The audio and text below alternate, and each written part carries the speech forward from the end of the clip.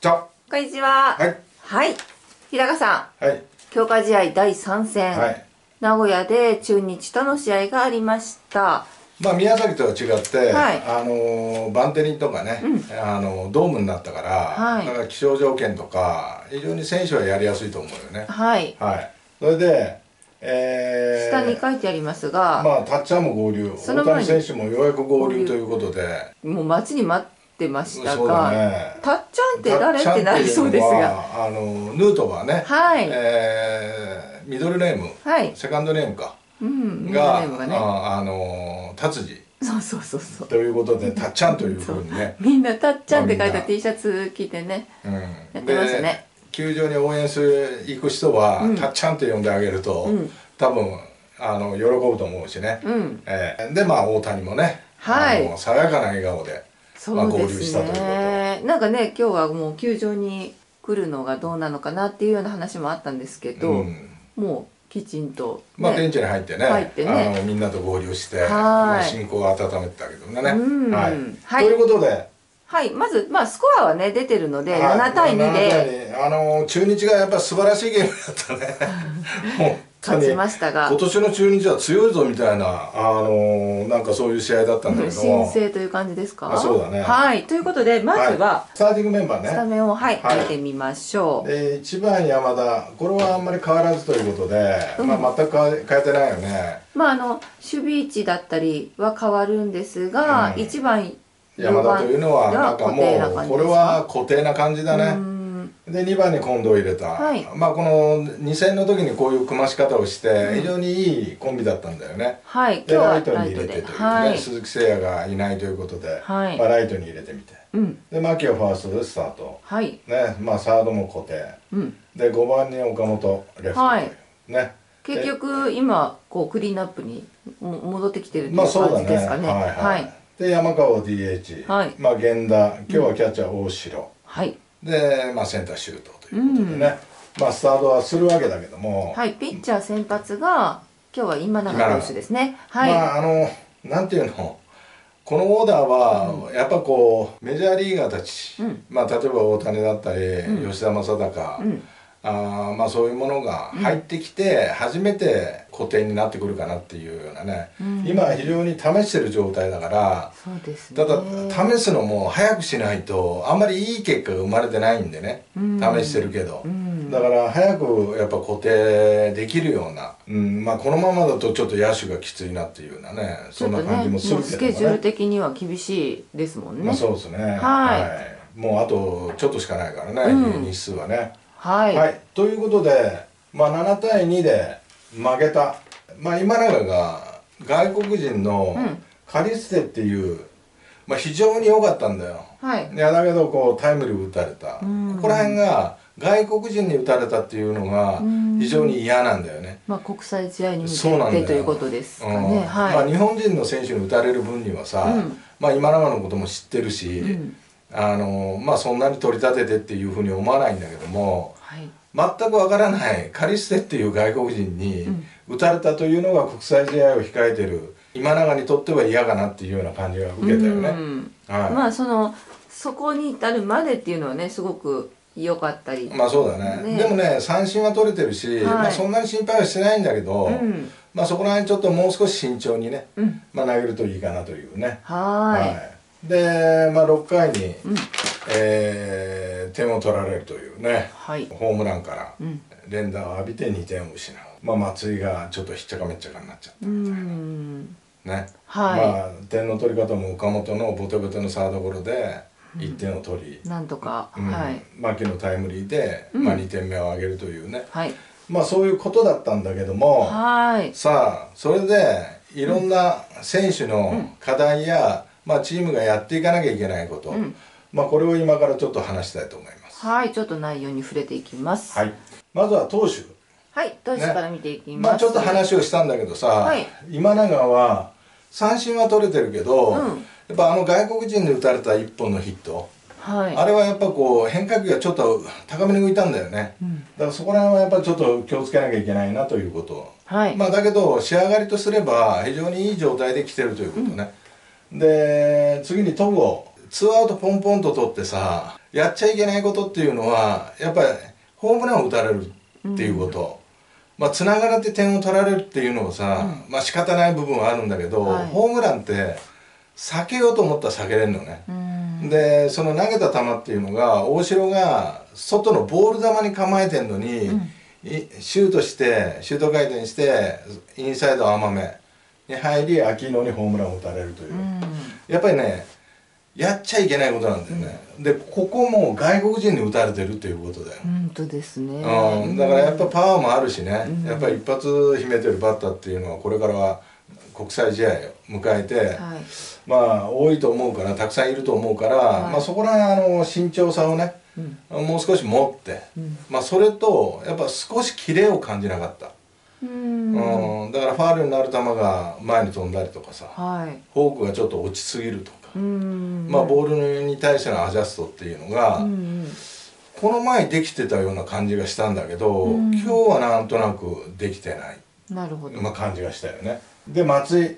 はい。これはままじゃやっぱ厳しいちょっとね前回もちょっとね厳しいかなっていう話があったと思うんですがそうそうそう。ちょっとあんまり変わらない感じですか、まああんまり変わってないね、うん。で力いっぱい投げる置きに行っちゃダメだと思ったら抜けるし、うん。だけどランナー溜まってやっぱストライクが欲しいってなると痛打されるという。まあ最悪の今状態かな。これ前回も言ってたボールが違うっていうことだけではない感じですか？うんボールだけではなくて、うん。本人の状態もあんまり良くないと思うよフォーム自体が。うん。だからそういう意味では状態的に今そこだから、うん。もうこれは上がっていくしかないというふうに考えるとね、うん。まあ、ポジティブに考えてあと1週間ぐらいで上げてやるぐらいの気持ちがないとね、うん。それとやっぱこう一人で変えられないんだよね。うんやっぱその回を完結するとあかの。3人投げなきゃいけないとか、はい。まあ、そういうルールがあるみたいなんで、ね。はい。だからまあそこら今のままではやっぱちょっと厳しいかなという、うん。まあ、状態が上がることをちょっと祈ってるけどもね。何かきっかけがあるといい感じですか？まあそうだね、うん。まあ終わってから大谷ともは話をしてたりだとか、ね。いろいろしてたからまあそういうことがなんかこうきっかけになればいいかなっていうふうにはねまあ思うけど。年が一つ違いでもともとこう交流があったみたいですまあそうだね。ねはいはい。うんうん。で栗林。はい。で松井がやっぱこう苦しんでて、うん。やっぱあのまま投げさせておく状態ではなかったんだよね、はい。だからまあピッチャーを交代したうん。イニングの途中で、はい。でツーアウトランナー満塁ということで、うん。栗林を持ってきたんだけど、はい。やっぱ栗林ってやっぱ9回限定でチームでも投げてるし、もうそうですようん、ねだからそういうピンチのところにこう入っていくっていうのは、やっぱ不慣れだな、うん。うん、やっぱこう精神的に全然違うと。ああやっぱり慣れっていうのはすごくあのあると思うし、うん。だからまあそういうのでどういう状態になるかっていうのもこれも試しだったと思うんだよね、うん栗山監督の。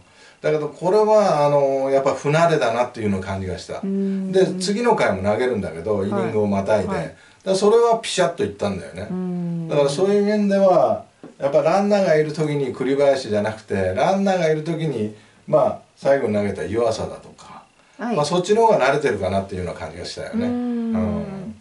まあでも、うん。あの投げてるボール自体ランナーがいない時、うん。そういうのは素晴らしいボールもいってたし、はい。まあ、心配ではないんだけど、はい。やっぱシチュエーションというのを考えて、うん。あの使わないとちょっと厳しいかなっていうふうに思ってね。うんうんで大勢。はい。これはね抑えがいいと思うわ。うん。うん、やっぱ球の勢いがね違う。159キロ、うん。この時期にだよ。ということはやっぱりこうみんなそのシーズン中とは役割が違うところをうん栗林投手とかも担って、で抑えは大勢選手がいいかなみたいな感じですか？まあまあそうだね、うんだからあの栗林が8回でもいいんだよ、うん。ただランナーいない、うん。せ回の頭から使うという、なるほど。まあそうしたら、まあ、大勢も同じことが言えると思うんだけども、はいそうですようん、ねだからそういうふうにつないでいけるとベストだね、うん。うん、うん。なるほど。だからそのためには松井がしっかりしないとさそうですね。1イニングこういけないんだよね、うん。まあ湯浅がいるけどね、はで湯浅はタイブレークいのあのし一応練習でね。試合が終わった後にね。そうそうそう、はい。投げたけどもやっぱ安定してるね、うんうん、だからまあ湯浅はなんかこうボールの感触もなんか体調もいいみたいでなんか頼りになるなっていうような感じがしました。まあ、タイブレイクっていうともう常にピンチの状態というか、まあそうそうそう。からスタートするということを考えても、こまあ落ち着いうて落ち着いてていいっていうことですかね、うんそうそうそう。はい。で豊かなピックアップ。はい。ね。じゃあピッチャー以外のところで何かえっと良かったところがブルーはい。ちょっと課題かなというところが赤で書いてあります。はい。はい、これ今永山田が牽制でアウトにしたんだよね、はい。カリステっていうランナーをね、はい。外国人、うん。でねやっぱ国際試合になるとやっぱこういうセカンドにパンと入ってきて牽制するっていうのはなかなかないんだよね、うん。だからその武器ができたということ、うんうん、だから非常にいいタイミングで呼吸も合ってたし、あこれは使えるなっていうふうに思ったよ、なるほど。うん、だから非常にいい牽制アウトだったよね、うん。でピンチだったんだけど、まあ、チェンジになって事なきを得たという。非常にいいプレーでした。こういうのが試合の流れを変えるとかっていうこともきっまあかけになるあるあるから、いそうですね。大事ですよね、うん。あるある。ただやっぱりこういう強化試合には各国偵察部隊も来てるだろうから、はい。あすごいプレーをするぞみたいな。そういうのでデータもあるよね。手の内が。うん、ということは一歩スタートが遅れたり、はい。リードが少なくなったりとかして、はい。ホームインをねあの防げるっていうこともあるし、うん。うん、だからまあいい牽制だったよね。はい、はい、で近藤のファインプレー、ね嬉しかったのはやっぱ鈴木誠也が故障で離脱した誰をライトに入れるの入れるのかなと思ったら、まあ、近藤がライトでスタートしてたんだよね。はい。で木下の当たりだったんだけどランナーを置いて、まあ、あの前に出てくるっていうプレーは非常に勇気もいり、難しいボールがちょっとこう切れていくからね。はい。だからそれをこうランニングキャッチして、うん。まあ、ファインプレーにしたという、はい。非常にあの心強いというか、あーちょっと安心したかなこのプレーで、本当ギリギリのところでしっかりキャッチして、ね、まあそうだね地面スレスレでね。プレーでしたはい、はい。でこの課題。はい。で油断するなと。うん。でビシエドが盗塁したんだよね、うん。ねちょっとこう外国人の名前がよく出てますが。これねやっぱ意表をつく、うん。で何をしてくるかやっぱ国際試合わからない、うん。っていうようなところでやっぱビシエドに慣れてんだよねみんな、うんあビシエドランナー一塁何にもないでしょみたいな感じで守ってたらビシエドが盗塁してきた、ん。これねエンドランだったかもわからないんだけども、はい。まあ、バッターが見逃して、うん。盗塁の形になったんだよね、はい。まあ、その時にショートの源田がベースカバーに遅れる、ん。で大城の送球が悪送球になる、ん。でピンチが広がる。みたいなか、形だったんだよね。だから何をやらやってくるかわからない。何をやられてもいいような状態でこれ今強化試合で日本のチーム相手だから、まあ、そういう想像とかそういうことでできてると思うけども、やっぱ国際試合になると何をしてくるかわからないから全ての部分で準備をやっぱしとしとかないとこういうミスにつながるという。まさに強化試合で良かったですいやそうそうそうそう。本だからいいことを見せてもらったというね、はい。うん。経験させてもらったという。教訓になりますそうよね。そうそれとね、大城がねセカンドの送球が2度ほどあったんだけど2度ともダメだったんだよね。悪送球というか。悪送球と悪送球もワンバウンドも投げてるし、ピッチャー相対的にまっすぐ力入れて投げるとちょっと抜ける傾向があるんだよね、はい。でやっぱキャッチャーも全力で投げ投げるからちょっと抜けたりとか引っかかったりとかやっぱそのボールにちょっと慣れてないんじゃないかなって。大城なんかの送球がねなるほど。だからものすごい阻止率もコントロールもいいピッチャーなんあのキャッチャーなんだけども、なんかこう送球今日の見てるとやっぱ野手にも多少影響があるのかなっていうね、そんな感じを受けたよ。特にねキャッチャーはセカンドとかってこう長距離投げるってなると、やっぱそういうことが影響してくるケースが多いんでしょうかね,、そうだツーアウトランナーなしから、秋野にホームランね、はい。まあ、最初冒頭にも言ったけども、はいやっぱり外国人ってパワーあるしね、どっから一発飛び出すかわからないから、うん。だからまあツーアウトランナーなしあのほっとしないようにねうん。やっぱホームランは避けていくというやっぱ慎重さがまあ必要かなっていうような感じがするよね、うん。まあ、秋野なんかホームランを打つために中日が取ったような選手、はい。これはみんな知ってるわけだし、うん。まあ、初対決っていうこともあったけども、はい。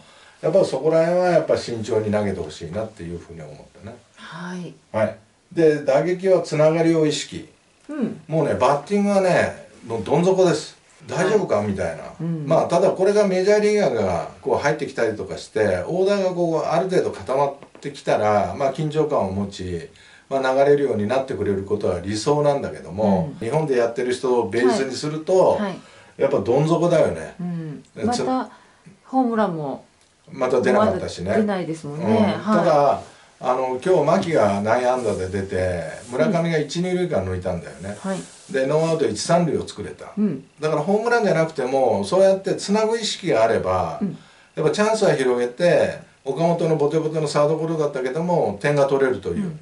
まあ、そういう状況を作るためにもやっぱり今何が必要かというとやっぱ調子を上げるためにもやっぱつなぎということをこう意識した方がいいかなっていうふうに思うんだよね。はい。で牧なんかはやっぱ広角に打てるもともとうん。打者だけに素直だよねバッティングが。うん。やっぱここのあの8回のタイムリーなんかも、はい。やっぱ外の変化球をライト線に打ったけども、やっぱり非常に素直にバットが出てる。はい。今なんかみんな見てると強引すぎるんだよね。う、ん。だからやっぱ結果がたかが強化試合だけども結果が気持ちを楽にしていくし。